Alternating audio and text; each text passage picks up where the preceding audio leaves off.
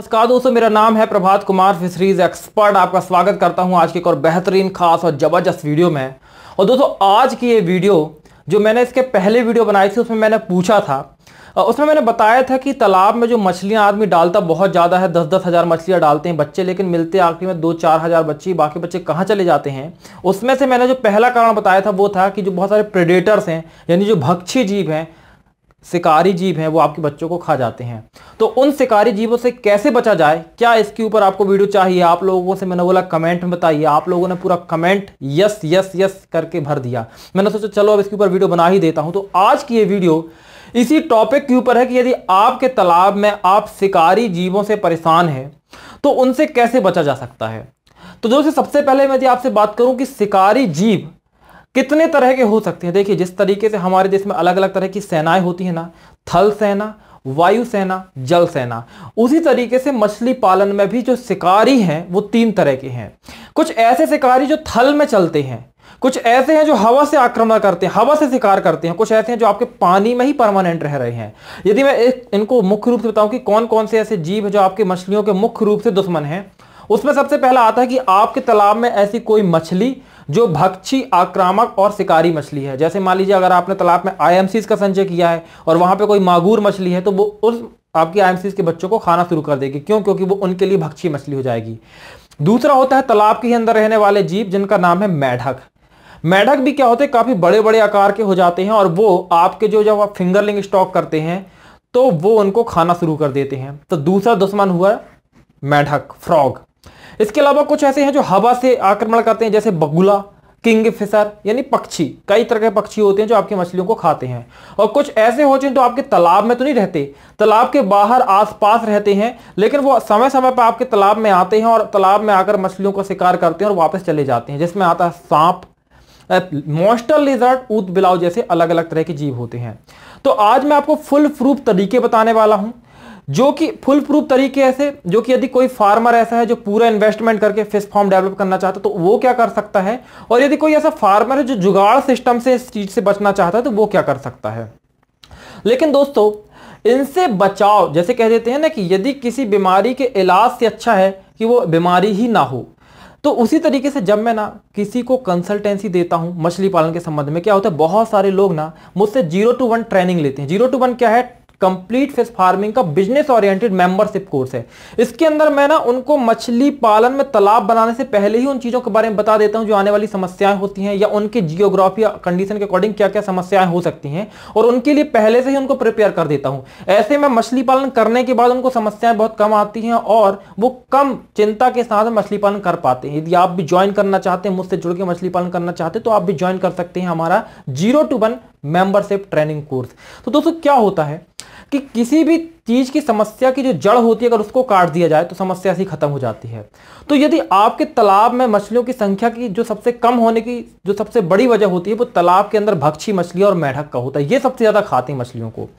तो जब भी आप मछलियों का संचय करें, इस बात का ज़रूर ध्यान रखें कि मछलियों के बच्चों को संचित करने से पहले आप तालाब में जाल ज़रूर चला दें। इससे क्या होता है, जो भी मछलियाँ जाल में मैठक वगैरह फंसते हैं, उनको जाल से आप बाहर निकालकर मार दें या फिर कहीं दूर ले जाकर छोड़ दें ताकि वो आपके तालाब में वापस ना सकें और आपके तालाब में जब आप बच्चों को डालेंगे तो वो बच्चों को नहीं खाएँगे। तो पहली चीज़ तो ये है कि तालाब को ही क्लियर कर दिया जाए।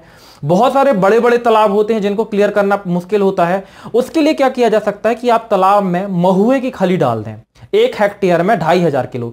इससे क्या होता है, इसमें एक सैफोनिन नाम का पदार्थ होता है, जिससे कि जितने भी भक्षी, मछलियाँ, मेढक वगैरह हैं, वो तालाब के अंदर सब डेड हो जाते हैं, मर जाते हैं और जब वो मर जाएँ, उसके पंद्रह, उनको तालाब से बाहर निकालकर अलग कर दीजिए और उसके पंद्रह दिन बाद बच्चे स्टॉक करिए। तो पहला तरीका तो यह है कि तालाब में इन चीज़ों को पहले से ही खत्म कर दिया जाए। लेकिन अब कोई फार्मर ऐसा है जिसने ऐसा नहीं किया है। और बाकी पक्षी भी उसके तालाब में अटैक कर रहे हैं, सांप भी आ रहा है मॉन्स्टर लिजर्ट भी आ रहा है तो क्या करे वो?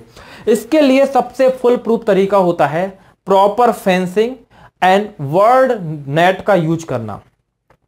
यहाँ पे देखिए मैं बताता हूँ कि आपको इसको कैसे बनाना है। देखिए दोस्तों, ये जो सामने फॉर्म है, ये हमारे एक ज़ीरो टू वन मेंबर का है। और उनने यहाँ पे देखिए फेंसिंग लगाई हुई है फॉर्म को डेवलप कर रहे हैं अभी। तो नीचे वाला भाग देखिए कैसे ज़मीन में गड़ा हुआ है और ये ऊपर की जो ऊंचाई है, वो तकरीबन छः फिट रखी गई है ताकि किसी तरह का जो कोई भी एनिमल है, जीव है, चाहे वो ज़मीन के नीचे से आने वाला हो, क्योंकि नीचे भी गड़ा दिया गया है ज़मीन में छः फिट नीचे तक, और ये ऊपर भी है। तो किसी भी तरीके से वो ज़मीन के नीचे या ऊपर से आपके तालाब के अंदर नहीं आ पाएगा। तो आपको इस तरीके से तालाब में और यहाँ पे जो कपड़ा है आपको इस तरीके का यूज़ करना ताकि वो गले ना। ये देखिए एक दूसरा फॉर्म है। यहाँ पे देखिए वर्ड नेट का भी यूज़ किया गया है और फेंसिंग का भी यूज़ किया गया है। वर्ड नेट क्या होती है? वर्ड नेट काफ़ी हल्की होती है और इसको इस तरीके से पूरे तालाब के ऊपर लगा दिया जाता है। दूर से तो दिखती भी नहीं है जिसके कारण इसके अंदर पक्षी नहीं जा पाते हैं और पक्षी इसका शिकार मछलियों का नहीं कर पाते हैं। हालाँकि यहाँ पे जो फेंसिंग है वो थोड़ा नीची है, इसको थोड़ा और ऊंचाई से लेना चाहिए था इनको। लेकिन कोई बात नहीं, कम से कम इंतज़ाम तो इनके पास है। तो इस तरीके का इंतज़ाम आप करेंगे तो एक फुल प्रूफ तरीका होता है मछलियों को शिकारी जीवों से बचाने के लिए, खासकर रेप्टाइल्स और वर्ड से। तो दो, देखा दोस्तों आपने कि किस तरीके से आपको फेंसिंग लगानी है। इस तरीके से अगर आप फेंसिंग लगाते हैं तो आप जो है, आपके तालाब में किसी भी जीव की एंट्री को रोक पाएँगे। दूसरा तरीका होता है पक्षियों को रोकने के लिए वर्ड नेट का लगा देना। वर्ड नेट क्या होता है? बहुत ही हल्का होता है। और वर्ड नेट को जब आप अपने तालाब के ऊपर लगा देते हैं तो पक्षी क्या होते हैं? उसके छोटे छोटे छेद तो होते हैं, मछलियों को उससे कोई समस्या नहीं होती है। तालाब में धूप वगैरह बराबर जाती है, लेकिन पक्षी उसके अंदर नहीं जा पाते और आपकी मछली के बच्चे सुरक्षित होते हैं। लेकिन ये बस वो पर्याप्त तरीका नहीं है, क्योंकि ये इसमें होता काफ़ी हद तक खर्चा। और हर मछली पालक के पास इतना पैसा नहीं है कि वो इतना पैसा खर्च कर सके और अपनी मछलियों का इलाज मतलब मछलियों को इस तरीकों से बचा सके। उसके लिए कुछ जुगाड़ तरीके होते हैं। सबसे पहले मैं बात करूँगा पक्षियों के बारे में, क्योंकि पक्षी बहुत ही ज़्यादा संख्या में आपके बच्चों को खा जाते हैं। सुबह सुबह का समय होता है पाँच से सात बजे तक, आठ बजे तक का समय। इसमें भारी मात्रा में आप देखेंगे, आपके तालाब के इर्द गिर्द पक्षी देखेंगे, दिन में दोपहर को शाम को नहीं देखेंगे। सुबह सुबह बहुत ज़्यादा शिकार करते हैं ये। उस समय यूजली कोई फार्मर शिकार में, तालाब में होता भी नहीं है। तो ये इनको आसानी हो जाती शिकार करने के लिए। तो पक्षियों से भगाने का देसी जुगाड़ जिसमें कम खर्च होता है, वो सबसे पहला होता है काग भगोड़ा। आपने पहले देखा होगा, खेतों में काग भगोड़े लगाए जाते थे, उसमें क्या होता था, एक पुतला खड़ा कर दिया जाता था इससे पक्षियों को भ्रम होता है कि तालाब में कोई है और वो आपके तालाब में आने पे थोड़ा झिझकते हैं। लेकिन बड़े पक्षी फिर भी नहीं झिझकते हैं। उसके लिए क्या कर सकते हैं? उसके लिए बहुत ही प्रूवन तरीका है, वो है इस तरीके की सीडीज। ये सीडीज देखिए क्या होता है। कि पहले के समय में ना जब कैसेट चलती थी तो इस तरह की सीडी चला करती थी। इनको कैसेट बोलते थे। तो इसमें क्या होता है? अंदर पूरी रील होती है। तो इस रील को निकाल कर आप अपने तालाब के ऊपर इस तरीके से इसका जाला सा बना दीजिए। इस तरीके से जब आप जाल बना देंगे चारों तरफ़ क्या करिए? बैम्बू के पोल गड़ा दीजिए या फिर आ, कह सकते हैं एंगल गड़ा दीजिए लोहे के और इनको तालाब के ऊपर ऊपर करीबन तीन चार फीट लेवल के मेड़ के ऊपर इनको ऐसे से बाँध दीजिए चारों तरफ़। इससे क्या होगा, जब पक्षी ना अटैक करेगा आपके तालाब में तो उसकी आँखों में ये चका, इसकी क्या होगी रिफ्लेक्शन पड़ेगा तो आँखों में उनकी चकाचौंध पड़ेगी, जिससे कि वो तालाब में मछलियों को नहीं पकड़ पाएँगे। यदि आपको ये नहीं मिल पाते, क्योंकि ये काफ़ी समय पहले चला करते थे, गुलशन कुमार के यदि आपने गाने सुने होंगे, पहले वो काफ़ी भक्ति संगीत चलते थे, सोनू निगम वगैरह के तो उस समय की ये सीडीएस होती थी, अभी तो ये बंद हो गई है। तो आपको कुछ और सीडीज मिल सकती है इस तरह की। ये काफ़ी हद तक चमकती जैसे आप देख सकते हैं, स्क्रीन पर भी आपको काफ़ी चमकती दिखाई दे रही है। तो इसको क्या करिए, आप यूजली इस तरीके से अपनी उंगली में जैसे फंसाते, इस तरीके से किसी डंडे में फंसा के अपने तालाब में लगा दीजिए। ये क्या होते हैं? तेज़ी से चमकते हैं। बहुत सारी जगह लगा दीजिए। अलग अलग एंगल बना के। तो पक्षी जब भी अटैक करेगा, उसकी आँखों में इसका रिफ्लेक्शन पड़ेगा और ये बहुत ही प्रूवन तरीका है। पक्षियों का जो अटैक होता है नाइनटी तक कम हो जाता है। पक्षी जो होते हैं नाइनटी तक कम कर देते हैं अटैक करना। तो पक्षियों से बचने का तरीका तो ये हो गया। अब बचते हैं दूसरे जो सबसे बड़े आपके शिकारी तालाब में होते हैं मैढ़क। मैढ़क भी बहुत ज़्यादा मात्रा में आपकी मछली के बच्चों को खाते हैं। तो यदि आपके तालाब में मैढ़क है तो उनसे बचाने का सबसे अच्छा तरीका होता है बदक। आप अपने तालाब में बदक छोड़ दीजिए। तो तकरीबन यदि 10 से पंद्रह बीस बदक आप एक एकड़ में छोड़ रहे हैं तो वो मेढकों को आराम से खाते रहेंगे और आपके तालाब को साफ़ करते रहेंगे। बदक पालने का एक दूसरा फ़ायदा ये भी होता है कि बदक पालने से क्या होता है, तालाब में वो काफ़ी हद तक ऑक्सीजन भी बढ़ाती रहती है। हालाँकि 10 से 15 तालाब एक एकड़ के ऑक्सीजन के लिए बिल्कुल पर्याप्त नहीं होते, लेकिन मेढकों को कंट्रोल कर लेते हैं। लेकिन बदक यदि आप तालाब में रखें मेढक कंट्रोल करने के लिए तो एक बात विशेष तौर पर ध्यान रखें कि आप कभी भी जब तालाब में मछली का बच्चा 100 ग्राम से कम का हो 100 से 200 ग्राम से कम का हो, तब मत रखिएगा, क्योंकि अगर तब आप रखेंगे तो आपके बच्चों को भी बतख खा जाएगी, क्योंकि वो सर नीचे डालती है, पानी के अंदर डुबोते लगाती है और बच्चों को खा जाती है। तो मैडक से निपटने का तरीका है बदक लेकिन छोटे बच्चे जब तालाब में हो, तब बदक ना रखिएगा। इसके अलावा दोस्तों, जो बचते हैं सांप या ऐसी दूसरी तरह की जो चीज़ें होती हैं इसके लिए तो मैं ये बोलूँगा कि देखिए, आपको अपने तालाब में निगरानी भी रखने की ज़रूरत है। और सबसे इंपॉर्टेंट जो होता है, तालाब की जो मेढ़ें होती हैं, उनको साफ़ सुथरा रखने की ज़रूरत है।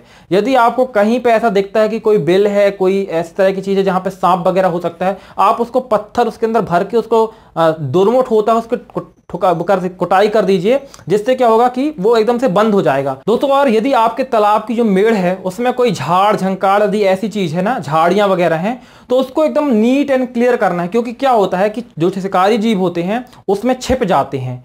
और जब वो छिप जाते हैं तो उसमें क्या होता है, जैसे उनको मौका मिलता है कि तालाब में कोई नहीं दिख रहा है तो वो एकदम तालाब के अंदर जाते हैं, शिकार करते हैं और वापस जाते हैं।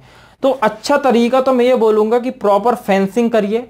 और जो आप फेंसिंग के लिए जो भी कपड़ा यूज़ कर रहे हैं या फिर जो भी आप कह सकते हैं नायलॉन वगैरह यूज़ कर रहे हैं, उसका जो एक छह इंच का भाग है, कम से कम ज़मीन में, गड़ा दीजिए। उससे क्या होगा कि आपके जो भी, जो नीचे से भी आने वाले सड़क कर आने वाले जीव हैं, वो भी नहीं आ पाते हैं। और उसकी ऊंचाई आप पाँच से छः फीट रखिए, ऊपर वर्ड नेट लगा दीजिए। तो ये काफ़ी प्रूवन तरीका होता है इस तरह के शिकारी जीवों से बचने का। साथ ही मछली को स्टॉक करने से पहले आप जाल ज़रूर चला दें और जो भी उसके पानी के अंदर शिकारी जीव हैं, उन्हें निकाल कर बाहर कर दें। तो दोस्तों, ये थे वो कुछ तरीके जो कि आपके मछलियों को शिकारी जीवों से बचा सकते हैं। तो उम्मीद है कि आपको ये तरीके पसंद आए होंगे। यदि आप इस तरह की मछली पालन से जुड़ी और भी इंफॉर्मेटिव ज्ञानवर्धक वीडियो देखना चाहते हैं और अपने मछली पालन के बिज़नेस को बढ़ाना चाहते हैं तो आप इस चैनल को ज़रूर सब्सक्राइब कर लीजिए। देखिए, आप में से बहुत सारे लोग हैं जो चैनल में आते हैं, वीडियो देखते हैं, लेकिन चैनल को आपने सब्सक्राइब नहीं किया है। क्योंकि हम बहुत करीब हैं एक लाख सब्सक्राइबर के तो आप जल्दी से सब्सक्राइब करिए और जल्दी से पहुंचाइए एक लाख सब्सक्राइबर तक। दोस्तों, मिलता हूँ अगली वीडियो में और जाने से पहले बस यही कहूँगा, यदि आप मेरे साथ जुड़ के मछली पालन करना चाहते तो आप हमारे zero two one membership course को ज्वाइन कर सकते हैं। इसमें मैं आपको कंप्लीट ट्रेनिंग भी देता हूँ, साथ ही कंसल्टेंसी भी देता हूँ। एक फुल गाइडेंस आपको मिलती है ताकि आप मछली पालन में सफल हो सकें। इसको ज्वाइन करने के लिए आप हमारे WhatsApp number eight eight one five seven five six, eight eight one पर संपर्क कर सकते हैं। दोस्तों, मिलता हूँ अगली वीडियो में। तब तक के लिए चैनल को सब्सक्राइब नहीं किया तो ज़रूर कर लीजिए। जय हिंद, जय भारत, वंदे मातरम।